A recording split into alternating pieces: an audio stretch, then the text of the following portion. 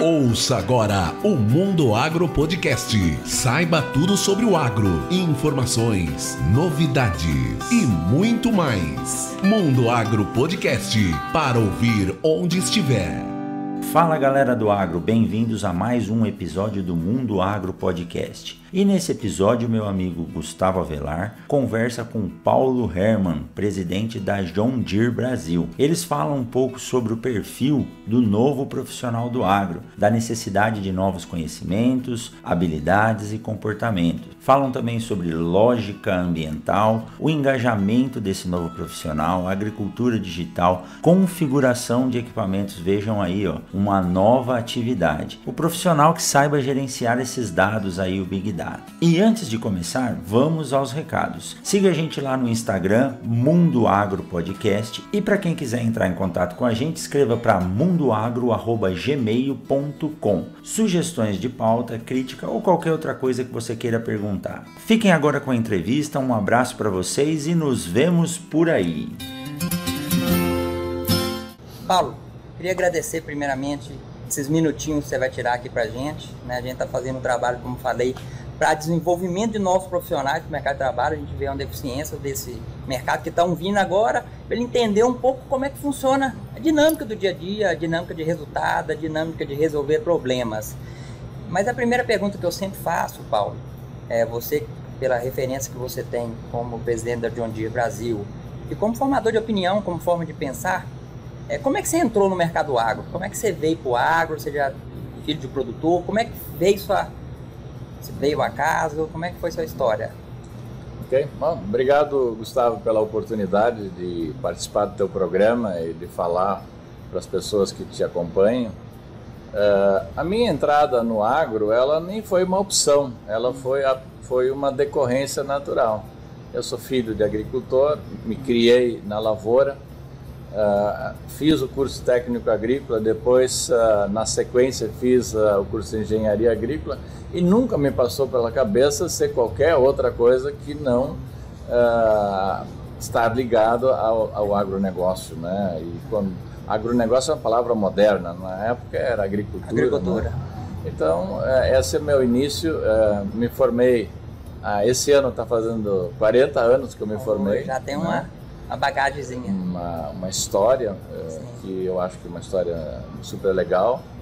Uh, e comecei trabalhando como no Ministério da Agricultura. Ah, bacana. É, tinha uma, o Ministério da Agricultura tinha uma fazenda no município de Iperó, que fica bem pertinho de Sorocaba. E ali a gente fazia ensaios de máquinas agrícolas. Hum. Então, e por meio desse trabalho eu fui então me aproximando da indústria de máquinas e, e eu fiz 40 anos praticamente todo ele dedicado às máquinas agrícolas. Então você trabalhou primeiro no Ministério e depois foi para a máquina? Isso, primeiro no Ministério, trabalhei cinco anos cinco no Ministério. Uh, foi uma experiência extremamente interessante. Uh, existe muito preconceito com, contra funcionário público, mas eu posso dizer aqui, existe, tem funcionário público que trabalha muito mais do que um funcionário de empresa privada. Com certeza. Né? tem pessoas muito sérias uh, e nós fizemos um trabalho interessante naquela, naquela época, na, na década de 80, estava começando a mecanização brasileira. Né? A, a, mecanização começa em 1960, mas ela pega força mesmo na década de 80. Aí começa a aparecer os tratores com tração em quatro rodas, começa a aparecer a cabina pela primeira vez, né? a parte toda de hidráulicos. Então foi um, um processo muito interessante e eu me orgulho muito de ter participado de toda essa história da mecanização no Brasil. Bacana, bacana. E parabéns pela história e, e pelo sucesso da sua carreira, pelo lugar que você está hoje. E, né? Isso é interessante, eh, Gustavo, que uh, uh, quando eu comecei a trabalhar, a gente dizia de que as máquinas que o brasileiro, o agricultor brasileiro dispunha, eram máquinas defasadas, máquinas que tinham uma defasagem tecnológica de 30 anos em relação ao que os americanos, os europeus usavam. Né? E, e no decorrer dessa história, uh, eu me orgulho muito hoje em dizer de que as máquinas que os agricultores brasileiros usam, que são disponibilizadas para eles, que são fabricadas no Brasil, são exatamente as mesmas máquinas que os agricultores americanos e europeus usam. Então nós, nesse período de tempo, nós saímos desse chavão triste de que aqui só se usava coisa velha, né, sucata, para uh, usar tecnologia de ponta, de ponta de última geração. E hoje a movimentação de tecnologia é muito rápida, né? E lançou lá, lança aqui ao mesmo tempo. Extremamente rápido. E aí eu entro na questão que, nessa minha cruzada agora, é nós precisamos fabricar gente. Né? É, toda essa tecnologia, ela nos leva para uma demanda por conhecimento que até então ela não existia. Né? A máquina hoje, por exemplo, ela não quebra. É, não, é, há anos atrás, a máquina só tinha um problema, ela quebrava. Quando quebrava, não funcionava. Sim. Hoje pode acontecer, Gustavo, de uma máquina não quebrar e não funcionar. Porque tem uma coisa nova chamada configuração. Essa máquina precisa ser configurada. Né? Uma plataforma de corte na frente da colheitadeira, ela está perfeita, ela não tem nada quebrado e pode não estar tá funcionando. Se o operador ou se o técnico da propriedade não souber configurar. Então, isso nos traz para um novo perfil de profissional que o mercado precisa. Né? Um técnico que tem uma noção agronômica, mas também conheça estatística, conheça sistemas. Né? A área de IT é uma área importantíssima e com esses sensores que a gente tem colocado nas máquinas, eu preciso agora do que a gente chama em inglês um profissional em data management, ou seja, um uh, tecnólogo que faça o gerenciamento dos dados. Porque dados, se não forem trabalhados, eles são lixão. Não tem função né? nenhuma, né? Não tem função nenhuma, só serve para atrapalhar a cabeça das pessoas. O dado só vira informação o dia que ele é processado, interpretado. E esse é o novo profissional que nós precisamos é, criar no mercado. Você tem que dar uma utilização para aquele dado, né? Senão fica perdido, você está coletando um monte de dado e não tem sentido nenhum. Exatamente. O dado, ele, ele, ele, ele, quando ele é processado, ele é informativo, né? Ele te diz, olha, existe uma ineficiência acontecendo aqui. Você tem que agir sobre isso. Né? Agora, se você pega o dado e você não faz nada com ele, você também não melhora nada na, na eficiência do equipamento. E aí, muitas vezes, você acaba comprando uma máquina cara e toda essa tecnologia é puro enfeite.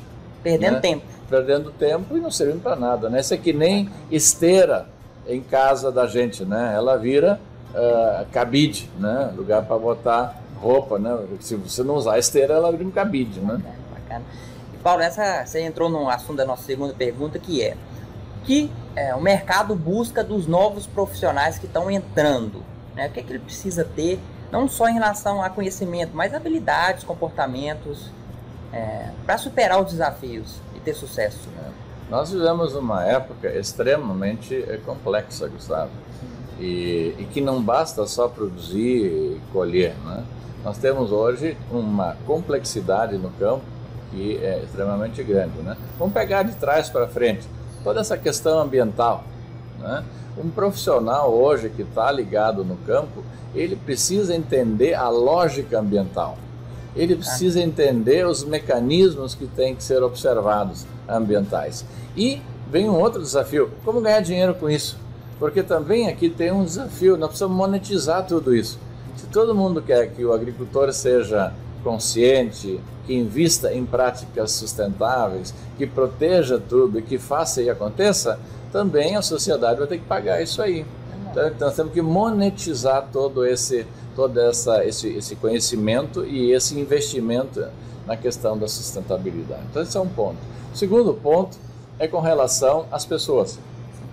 Nós ainda temos hoje, em que pese toda a tecnologia, o desenvolvimento, Gustavo, nós temos ainda o que a gente chama de turnover, ou seja, giro de funcionários dentro da propriedade, depende da propriedade, pode chegar até 40%.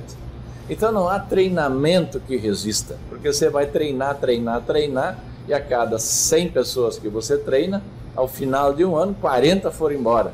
Então não tem, não tem fim esse trabalho. E o custo é muito né? alto, né? O custo é elevado, aí toda vez que chega um funcionário novo, todo o processo começa do zero. Produtividade baixa. Produtividade baixa e principalmente engajamento baixo nas indústrias, uh, uh, isso já é um problema que nós resolvemos há, há décadas. Né? Porque numa relação de pessoas, numa relação com colaboradores, Gustavo, você tem que ter três aspectos muito claros, né? Primeiro é a questão da aquisição, da atração. Você tem que atrair os melhores. Você tem que ter um, um, uma, uma estratégia de atrair os melhores, né? Não adianta atrair os piores. Você tem que pegar os melhores. Sempre trabalhar com os melhores. Esse é o primeiro ponto. Uma vez que você atraiu os melhores, eles esperam de ti um programa de desenvolvimento. Ninguém quer chegar num lugar e ficar a vida toda naquele lugar. O cara entra com o operador 1, ele tem que ter perspectiva para ir para 2, para 3, o que, que eu tenho que fazer para chegar ao operador 3? E se quando eu chegar no 3, o que, que, vem, que, que eu. Né? Ou seja, precisa ter um, uma, uma, proposta de carreira, um plano de cargos, um plano de salários. Né? Então isso é fundamental, esse, esse pacote de desenvolvimento. Na, na John Deere, em qualquer empresa, nós estamos permanentemente treinados, porque a, a, coisa, como você falou há pouco, o mundo muda muito, a tecnologia muda muito rápido, então eu preciso ser atualizado né, permanentemente. E o terceiro tripé desse tripé, Gustavo, é a questão da retenção. Né? Você atrai os melhores, você desenvolve eles e agora você quer reter. Não adianta você preparar o cara para o mercado. Nós não somos Senai. Nossa função não é preparar para o vizinho, é ali. reter o cara. E como é que se retém um funcionário? Né? Aí você tem programas. A indústria também já desenvolveu isso. Uma das coisas é ter um programa de participação nos resultados. Ninguém se contenta e ninguém fica num lugar pelo simples salário que ele ganha. Ele precisa sentir que aquele trabalho que ele desenvolveu, que aquele suor que ele botou lá, aquele, aquela paixão que ele colocou lá, quando se trata de um bom funcionário, isso é também remunerado. Então tem que ter um programa de participação de resultados, sem dúvida nenhuma. Tem que ter um programa de benefícios. Né? A família fica doente, a pessoa fica doente, então tem que ter um programa de, de assistência social, etc. Então, isso aí, Gustavo, é uma das, um dos elementos importantes que as, as nossas escolas têm que começar a trabalhar, porque o, o, o, funcionário não é mais funcionário, ele é um colaborador. Né? E você precisa de gente engajada. Então, esse é o segundo ponto. O terceiro é, é toda essa questão de que gestão de custos. Né? Uh, eu ainda não estou tocando na parte agronômica, você vê que eu estou fazendo toda a volta aqui, eu não entrei no aspecto agronômico, porque esse nós sabemos fazer. As nossas escolas nos preparam com esse viés agronômico, ou com viés técnico. Mas a, a, trabalhar numa propriedade é muito mais do que isso, né? Você tem que estar preparado para essa tecnologia. Você tem um mundo em transformação, né? As grandes empresas estão todas elas aqui. As grandes empresas estão puxando o desenvolvimento tecnológico numa velocidade muito acima das agências de pesquisa oficiais do governo entendeu? Então, você tem que, por exemplo, hoje não estamos falando em sementes, estamos falando em singularização não se planta mais duas sementes simultâneas. É uma, uma semente por semente. E nós vamos chegar num futuro muito próximo, Gustavo, de que a semente, cada semente vai ser uma unidade de negócio.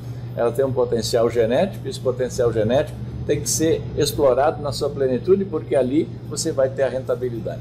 Eu gosto muito desse ponto de vista seu, Paulo, que mostra também outros lados da parte de emprego e de oportunidades no agro, porque muitas vezes a pessoa acha que é só vender ou só a parte técnica, mas tem toda uma, uma análise de informação, RH, desenvolvimento de pessoas, desenvolvimento dessa parte de, da agricultura digital que está crescendo muito e é. vai gerar oportunidade de, de pessoas Essa é. ocuparem é. essas vagas. Você está absolutamente correto na sua colocação. Né? Eu estava falando da semente agora, da singularização. Nós podemos falar das moléculas. Né? Nós estamos trabalhando com moléculas moderníssimas e cada vez menos quantidade de produto aplicado por hectare. Não temos produto que a gente aplica menos de um litro por hectare. Então nós temos que ter uma precisão na, na entendimento da, da importância. Né? Hoje Existem estudos que mostram que 60% do produto químico que é aplicado, ele é aplicado fora da condição ideal de umidade, temperatura e velocidade do vento. Ou seja, grande chance de que ele seja um material inerte, inócuo, sem função nenhuma. Perdeu tempo e dinheiro e não perdeu produção. Exatamente. Ainda. Então, entra, esse é o lado, Gustavo, de, de, de, da tecnologia. Né? As máquinas hoje, nós estamos falando em fazendas digitais as máquinas elas estão te entregando um grau de informação tão grande que você pode verificar, poxa, mas eu comprei uma semente E eu comprei com um índice de germinação que não tá, não, tá, não, não, não ocorreu. Então eu posso conversar com o meu fornecedor de semente, ou com, enfim, quer dizer, e, e, chegar a uma conclusão se ele, que ele vendeu aquilo que eu recebi. Enfim. Então, são os, e eu, eu nem estou tocando na parte técnica em si, porque esse para mim é a parte básica que precisa existir. Existe uma outra coisa, Gustavo, muito, muito, muito atual e que eu acho que é o grande caminho no Brasil, principalmente porque nós somos um país tropical, é a questão da integração da intensificação da agricultura. Então, quando a gente vê agora, daqui a pouco eu vou visitar a Embrapa aqui em, em Sinop, né? que é um grande centro de pesquisa de ILPF, que é a integração da, da, da, da, da lavoura, pecuária. pecuária e com a floresta. Tem bastante pesquisa. Então, mais ou menos, um engenheiro agrônomo que chega numa propriedade só com o olhar da soja, não, não funciona, porque o agricultor dessa região aqui, e já temos 15 milhões de hectares no Brasil integrados, ele quer saber como é que vai funcionar o sistema produtivo, não a unidade produtiva. Quer dizer, o cara chega lá, o menino ou menina que se formam nas agrárias daqui para frente, e eles vão ter que mexer com gado, eles vão ter que mexer com a floresta, eles vão ter que trabalhar com grão, botar braquiária. É, uma, é um conceito de intensificação da tecnologia, intensificação da produção agrícola. E é uma necessidade do mercado que está fazendo isso acontecer, para reduzir custos, para diluir, vamos pensar assim, a parte de depreciação e aumentar a questão do uso da terra. Exatamente. Né? Eu vou começar de trás para frente. A questão do uso da terra, né? É, é, nós estamos vendo que a própria legislação ambiental é, é vai fazer com que o hectare no Brasil vai ficar tão caro, vai ser impossível de comprar. E quando comprar um hectare, não vai ter que deixar 80% em reserva legal. Então, nós vamos ter que trabalhar na verticalização da agricultura. Nós vamos ter que fazer mais por hectare. E isso não é possível de ser feito no hemisfério norte. Se você tem lá quatro meses com dois metros de neve, você pode fazer o que quiser lá, nem nada vai acontecer, porque a agricultura é fotossíntese, e fotossíntese é sol. E nós temos 12 meses de sol por ano.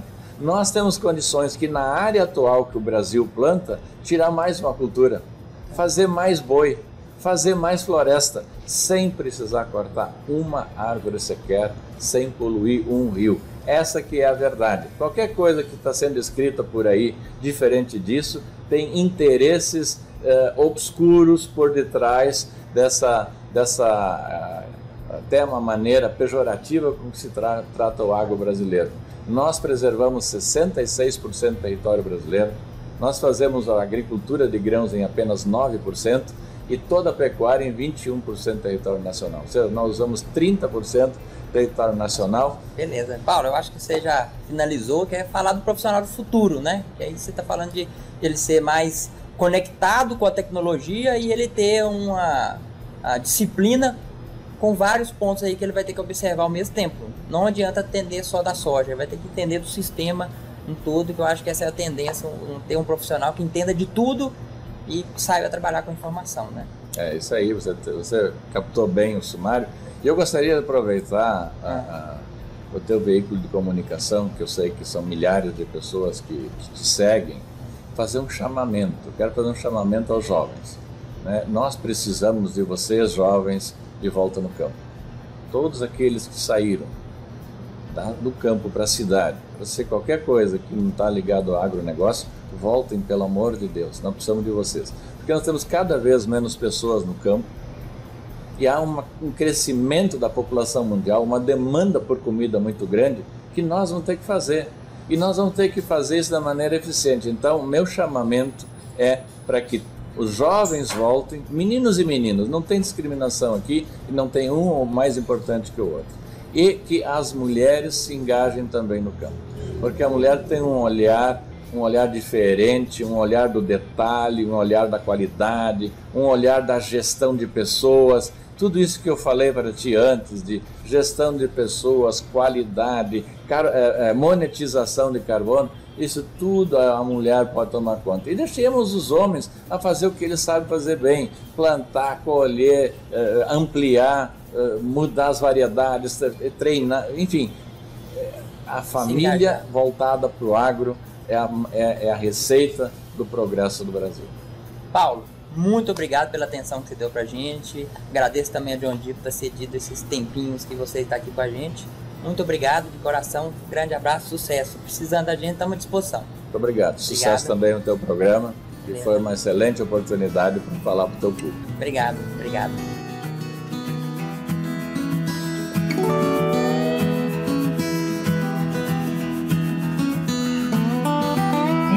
Agro Podcast para ouvir onde estiver.